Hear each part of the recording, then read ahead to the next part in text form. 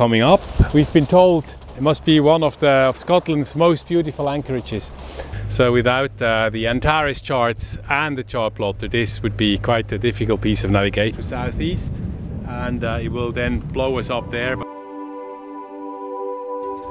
Look at these two beauties, cleaning off all that stuff from the waterline. I just would like to catch something different than mackerels. And today we're just going 14 miles into Ullapool. She was owned by Sir Francis Chichester. However, the wind is already picking up in anticipation of Storm Betty. And then I have a shock line, which is actually a climbing rope.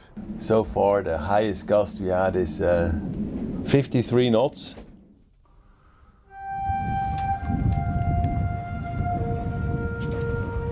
So today we're uh, leaving Lochinver.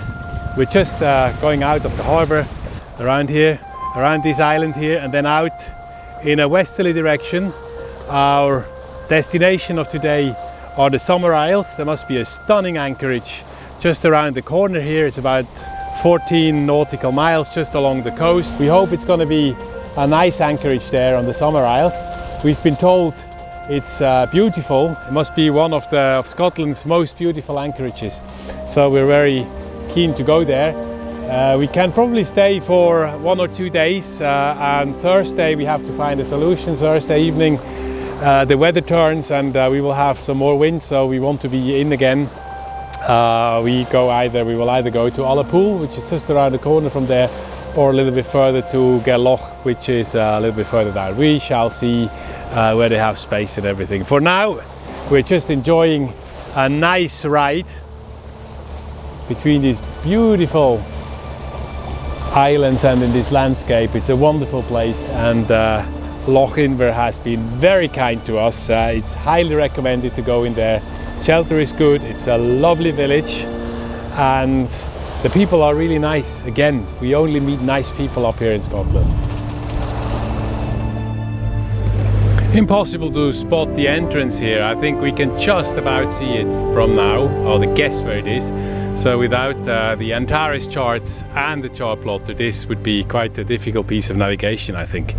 Uh, the swell has come down and um, I think it's quite a protected anchorage we're actually in. It's not. It's a bit narrow to get in, but uh, otherwise, I think it's nice. And we're checking out the summer on the Summer Isles. So on Antares charts, we have a good detail. So we go through here. It's very narrow here. It's about maybe maybe 150, 200 meters here. And then we go. We try to go down here, find our anchorage down here. Now that's supposed to be the best one although there's a small tidal, a little tidal stream going through. If that's nothing, there's one here, another one here we can try out. And that's the difference between the Antares charts that have quite a few details versus the ones on Garmin and Navionics. It's just uh, this red area here where they don't have actually a survey, so uh, you wouldn't want to get in just with these charts, but uh, on Antares it looks good.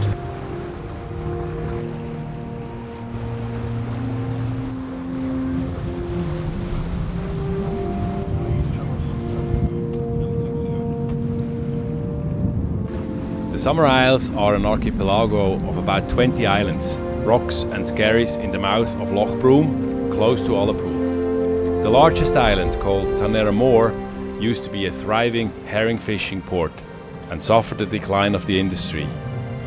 In the 1880s, it was inhabited by no less than 120 people. As far as we know, it was permanently inhabited until 2014. Its incredible rock formations, caves and beaches remain a popular destination for local cruise boats and kayakers.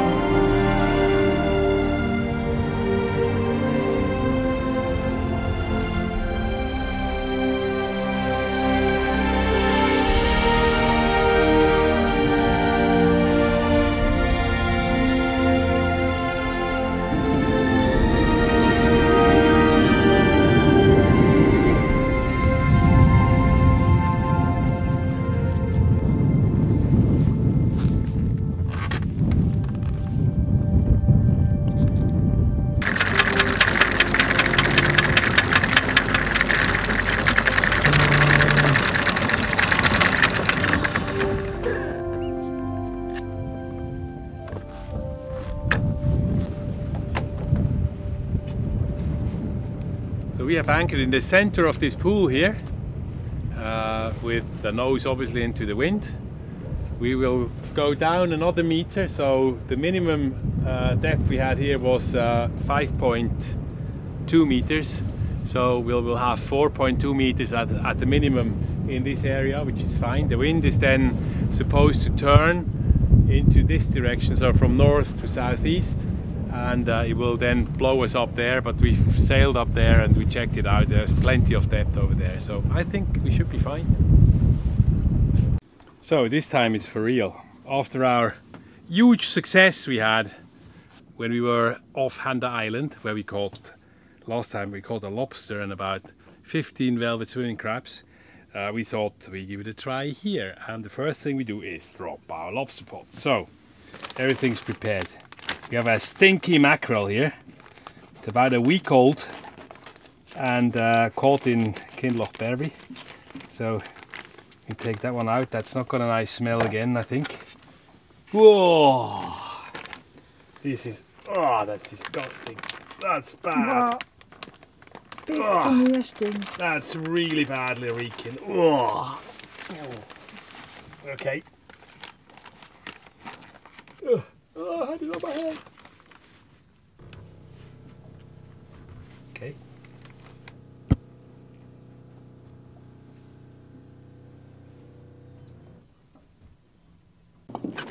So let's see what we catch tomorrow. The nice thing is you just drop it and you leave it. You don't have to work on that. Perfect.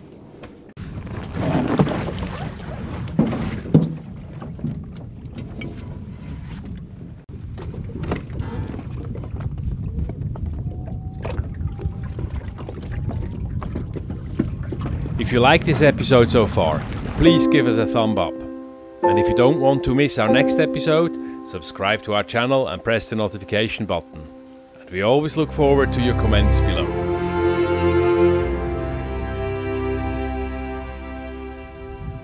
And a very special thank you goes to Dom, Shona and Charlotte from the good ship Moria. Thank you for the delicious box of Swiss chocolate. You made our day.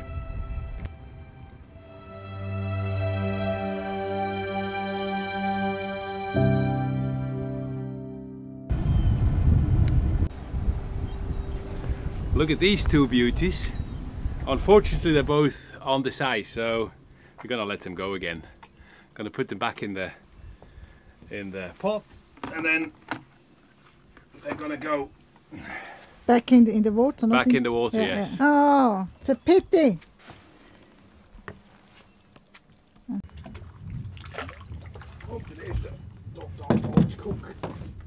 Kanske får hinna för mycket så det var. The fishing is a bit frustrating. I catch many mackerels, but all but one are too small. Without wanting to sound picky, I just would like to catch something different than mackerels.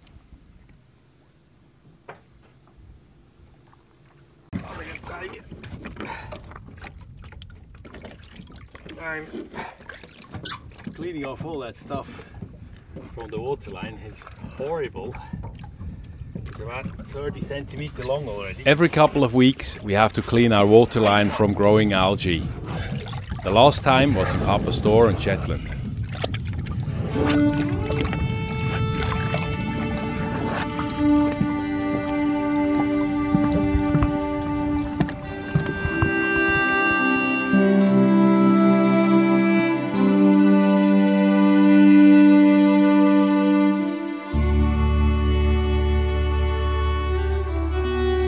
Maybe and because we have been up to the far north, where the sun barely sets during the summer, we appreciate every glimpse of a sunset or a sunrise. Nothing is more peaceful than hanging on the hook in an anchorage all by ourselves in a remote place. And what could be more beautiful than watching the sun go down between the islands, reflecting in these stunning warm colours of the golden hour? This is Scotland at its finest.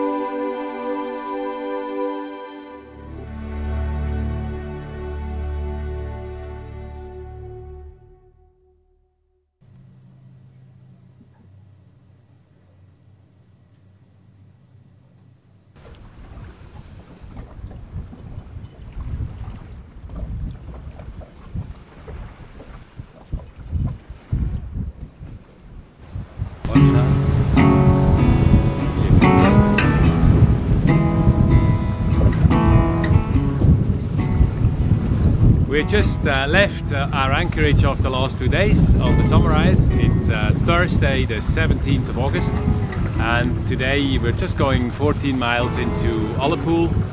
Uh, there is some blow coming uh, later today, tomorrow and on Saturday and uh, we decided to go in an anchor an anchorage respectively in a visitor's mooring in, in Ullapool and explore Ullapool a bit. Weather is nice, there is a southwesterly wind of about 15 knots so we'll have it on our head all the time. It's going to be motoring, there's not going to be a lot of sailing today I think. It's uh, a pity but that's how it is.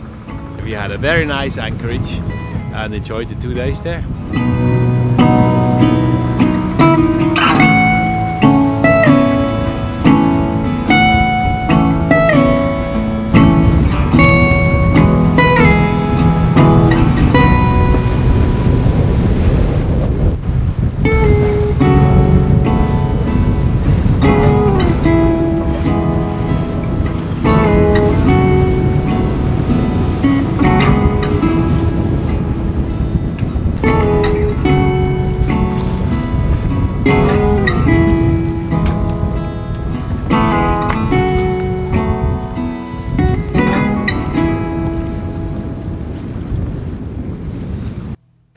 Ride to the shore, we passed this classic beauty, the famous Gipsy Moth 3. She was owned by Sir Francis Chichester, who was the first man to sail around the world single handedly and non stop in 1967. Seven years earlier, however, in 1960, Sir Francis and the Gipsy Moth 3 won the first observer single handed transatlantic race known as the OSTAR race, found by Blondie Hasler. Even today, this race continues to take place, starting in Plymouth, ending in New York, single handed across the wild North Atlantic Ocean. The weather is sunny and warm. However, the wind is already picking up in anticipation of Storm Betty, which we will witness in a few hours. Stay tuned. We take the opportunity before the storm for a hike along the beautiful rugged north shore of Loch Broom from Ullapool to the Rubha Cadail Lighthouse. This is the wreck of the Fairmorn. She was built on the Clyde in 1948 as a fishing boat for the herring industry on the west coast of Scotland. In her late years, she spent a few years as a supply boat for the fishing factory ships that were anchored in Loch Broom. She was then beached for maintenance work, but sadly, she never made it back to sea after being battered by a storm. And so, she remains as a backdrop for the nearby holiday cottages.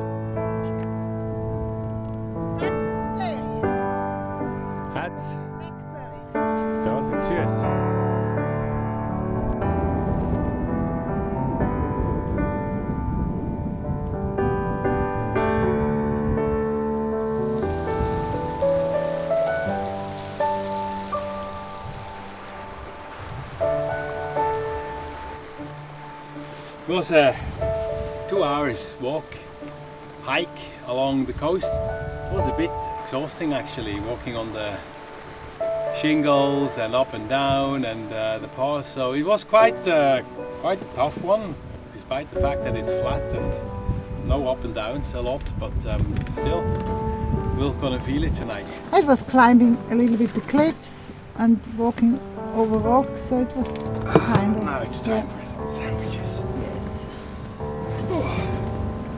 And our way back to Ullapool leads us six kilometers along the Dull Main Road. Well, at the moment everything looks quite okay here. There's a bit of a wind going, but it's maybe 15 knots or so. From the southeast, there's a bit of a swell, but we can't feel a lot actually here on Polaris. It's Ullapool in the background. It's a warm wind actually blowing, but soon that's going to be likely to change. So here's how the situation looks. That's uh, Friday, four o'clock. So about in an hour the forecast, and we see here this huge low, and actually it's composed in two lows, one here and one over here, a secondary over here, which is uh, gonna hit us tonight. So if we go through the pictures, that's coming up the Irish Sea. and then right across our heads with the strong winds before it then goes away tomorrow afternoon. Tomorrow afternoon the worst should be over. That's just the normal wind. So I go back and if we look at the at the wind gust model looks a bit different. So should be gusting 30, which we have seen actually uh, this uh, lunchtime. And then we see it building building up. Uh, that's midnight. We're gonna have 36, 1 o'clock 38, 39, 40 at 3 o'clock, 42 at 4. It looks like it's peaking between 4 and 7, 4 and 8 o'clock. It, it, uh, it is peaking at just over 40 knots in gusts interesting hours coming. In about 12 hours, we're gonna have probably mayhem, and I'll uh, keep us updated how uh, this looks. The wind is currently blowing from the southeast, uh, but it's supposed to be turning towards the east. So southeast, we're quite open actually to the inside of uh, the loch.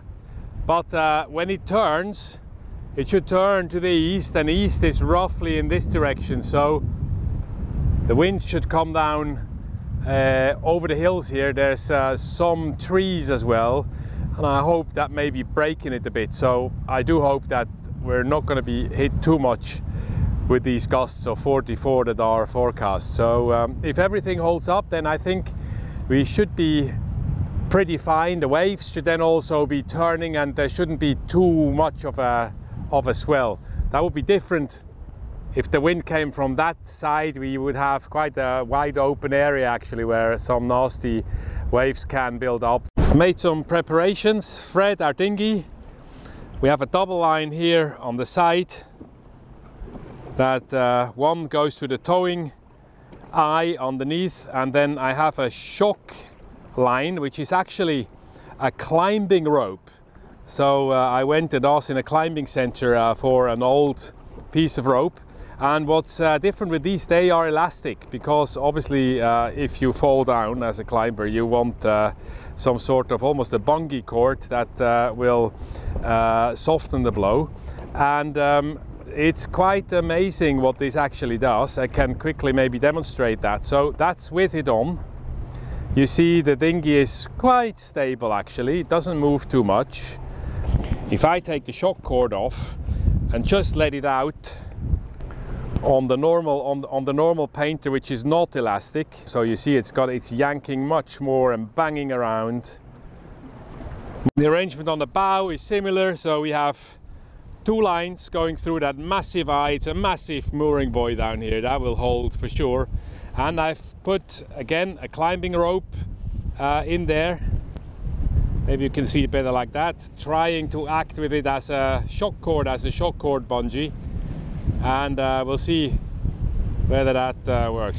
It's 8 o'clock in the evening. It's nice weather. The wind is eastish with a force 4 to 5, so nothing really bad. Uh, there's not a big swell yet. At the moment it looks quite okay. For the time being, let's enjoy the beautiful sunset.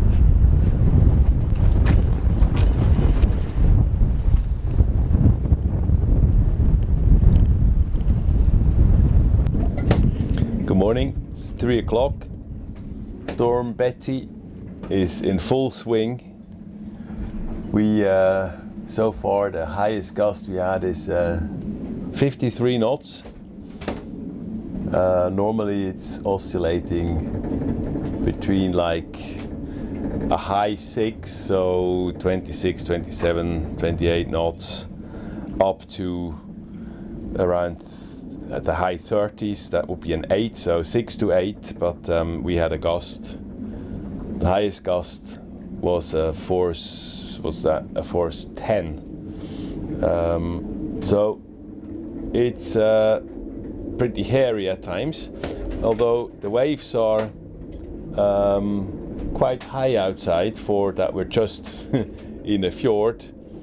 Um, they are long and uh, they're not breaking so it's not too bad the motions of the boat. It's just yanking on the uh, on the mooring buoy. I saw we were we were moving at 0.8 knots on marine traffic just around the buoy, so it's uh, quite hefty movement. That's the that's the wind that's blowing us from side to side. Uh, that's the mooring buoy for the neighboring boat. There was actually a boat here uh, until this afternoon, but they chickened out. They went into the harbor. I asked the harbor master as well. He didn't want us there. He said he doesn't want any boats there. So I wonder what they did. They just overstayed their their filling slot, I think. So that's how it looks. And as I go to bed around 4 a.m., the worst of Storm Betty is over. Despite the strong gusts, the night was relatively uneventful, and our climbing rope shock absorbers did a great job. Join us next time when I'll be fed up with sitting on a mooring buoy. we can sail and then it's uh, engine against the wind. The wind has freshened up now. Uh, we think it's time to take a second reef also in the main. Change of plan. As you see, it's quite rough. We go into Gairloch. Catherine found some delicious blackberries. That was quite a zigzag. Uh, there were about 20 fault markers that we had to uh, take care of. To sail from Rosay, Pontoons where we are, down here through the Straits of Calderia and then down to Mallaig. Just waiting for the sun to come up or the light to come up uh, so that we can see something. Mallaig Harbour, Mallaig Harbour, Mallaig Harbour. This is sailing vessel Polaris Helvetica, Polaris Helvetica.